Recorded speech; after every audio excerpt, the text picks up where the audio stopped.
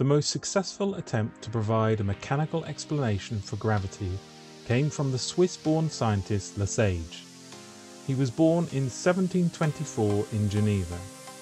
He was an atomist and wanted to explain all properties of matter in terms of collisions and conglomerations of atoms. He saw a way to use this to explain gravity itself.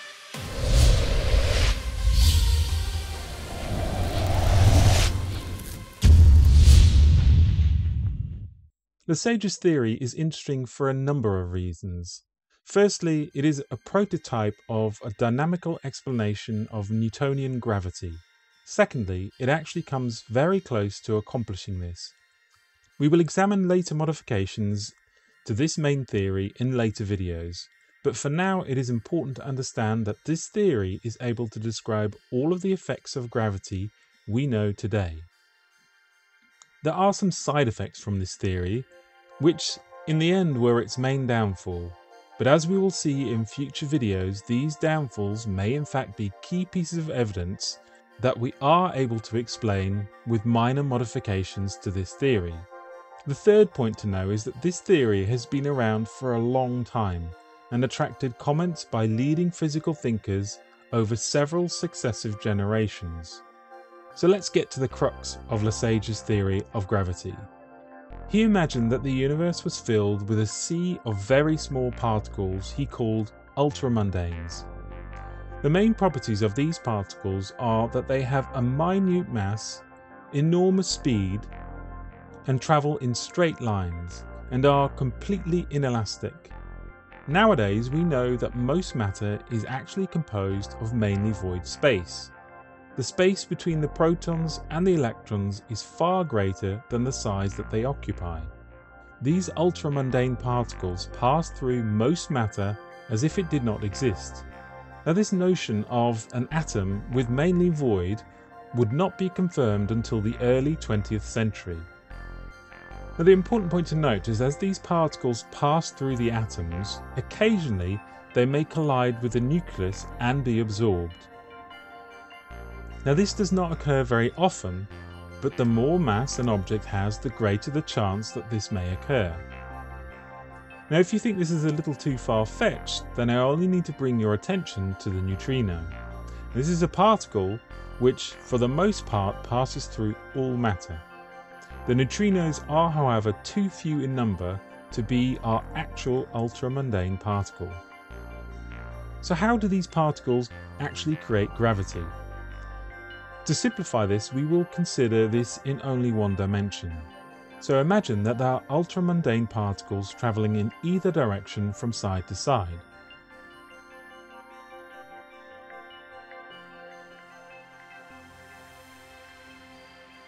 If we place a large body on one side of the screen and assume that some of these particles will be absorbed by the body, you will see that part of the component moving from left to right will be missing to the right of the body and vice versa.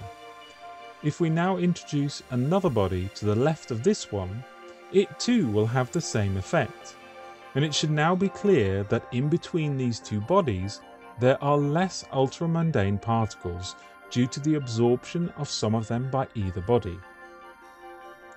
If we now consider that each time an ultramundane was absorbed, the kinetic energy of the impact was transferred to the body, it should become obvious that there is an inward force on both bodies causing them to move towards each other. So where in the standard view of gravity we see a pull force, here we see a pushing force from the sea of ultramundane particles. To complete this picture, we must take this 1D view and add in the movement from all possible directions. And when this is done, what we will find is that this theory not only produces a force which is proportional to the mass, but also falls off with a square of distance between them. A critical aspect of this model, recognised by Le Sage himself, was related to the nature of the collisions between the ultramundane particles and the matter itself. These collisions could not be entirely elastic, as this would lead to rebounds which would cancel out the pushing force, Instead, they would have to be wholly or partly inelastic.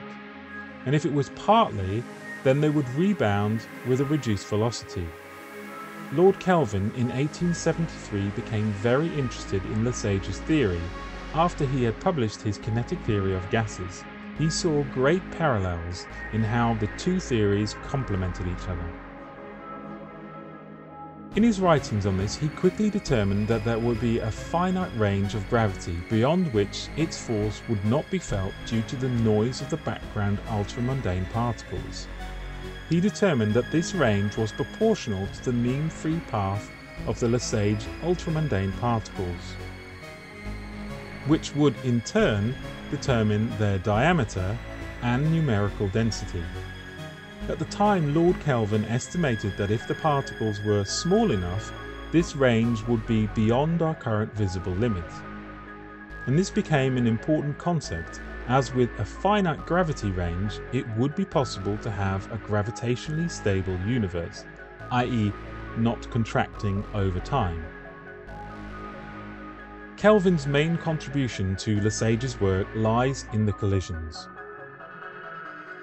He argued that the elastic collisions might be feasible if after rebound the translational energies were given over to rotational or vibrational energies conserving the total energy of the system. Le Sage's model had been criticised for requiring an endless expenditure of energy from the outside. It had also been shown that these rotational energies would later be restored via other collisions keeping the ratio of the different types of translational energy constant. And this eliminates the problem of gravity slowly being reduced as all the kinetic energies are converted to rotational energy, slowing the average movement of the particles down. Even the likes of Poincare and Maxwell were interested in this concept. In the end, Maxwell was the figure who put a nail in the coffin for this concept for a considerable amount of time. He condemned the theory based on thermodynamic grounds, stating that the temperature of bodies must tend to approach that at which the kinetic energy of the ultramundane corpuscles. Maxwell assumed that the kinetic energy of the corpuscles, the ultramundanes, was much larger and therefore ordinary matter should be incinerated within seconds under the Le Sage bombardment. Preston, however, questioned Maxwell's assumption that the number of corpuscles was much smaller than the number of particles of ordinary matter. Preston demonstrated that if you assumed a large quantity of corpuscles with a small mass, this would allow the Le Sage gravity pressure to be maintained despite the low kinetic energy. As you can see, this theory has existed for a considerable amount of time with equal supporters and opposers to it. So the main problems have hampered the development of the Le Sage model, which can be summarized as follows. Number 1. If the collisions are partly inelastic, the transfer of energy would cause a heating effect. Depending on the mass and the velocity used, this could create a vast amount of energy that would build up over time. Secondly, planets which orbit the Sun have to move through these particles, and this could cause a drag effect which we do not see. Both Kelvin and Le Sage got around this problem by having the corpuscles travel at speeds much greater than the speed of light, and having almost negligible mass. However, when general and special relativity were introduced, this was yet another nail in the coffin, as nothing could travel faster than the speed of light. Number 3. If we assume elastic collisions as Kelvin proposed, then this would lead to a build-up of corpuscles around the large body. The combined influence of these and the many negative assessments in conjunction with a general shift away from the mechanical ether theories has led to the progressive loss of interest in the Le Sage theory. So why have I included this concept if it is so flawed? Because this is not the end of the story for push gravity.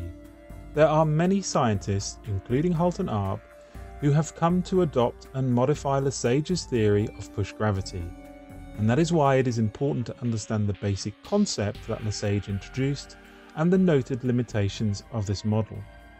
Over the next few episodes, I want to explore some of these modified theories so that we can see how these limitations can be removed and how many interesting aspects of this theory could lead into several alternative theories not directly related to gravity, such as planetary heat emissions, planetary growth, and mass increase over time, and cosmic background radiation, as well as explain some of the more gravity related concepts such as galaxy rotation and gravitational shielding.